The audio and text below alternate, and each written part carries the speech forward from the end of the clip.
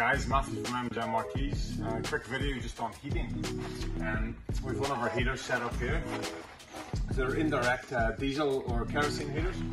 We have them set out there. Um, it's set out, um, connected to electric, electrical supply just to run the fan.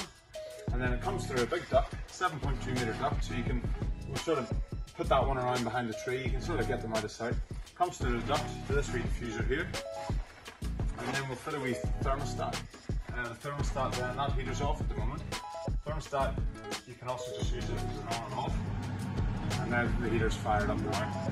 And that'll just constantly blow in hot air um, to, until you turn it off or until the thermostat turns it off. Um, great way of staying warm. That's it. Uh, any more information, uh, please get in contact with the office. Thank you.